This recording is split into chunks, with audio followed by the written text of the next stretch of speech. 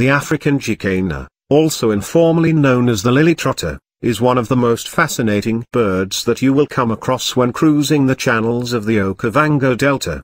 One can't help but marvel at how well these birds have adapted to their environment. Part of the Wader family, one will usually see the African jacana conspicuously darting across lily pads that are floating in the middle of deep waterways.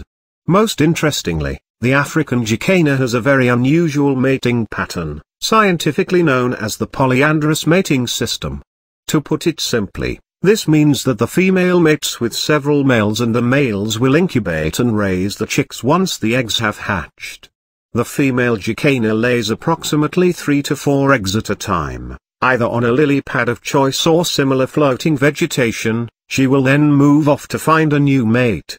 There is some method behind this madness and it has to do with highly evolved breeding behavior. Instead of the female expending energy on raising young she can rather use this energy to increase the numbers of the species, one female can have up to 20 eggs being incubated at a time.